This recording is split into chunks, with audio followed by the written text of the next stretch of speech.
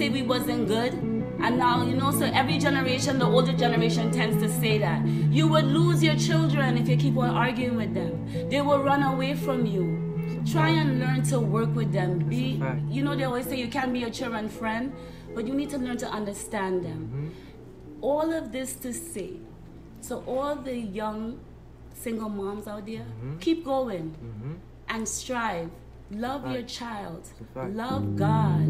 And to all the young people out there, I'm so proud of you. I watch all of you every day in the street run up to me to say, Mama Cenat, you guys have it. You have the skills just like Kai. Dedication, perseverance, keep on grinding, never give up. And Kai knew what he wanted. He had a camera and a dream. And here we are today.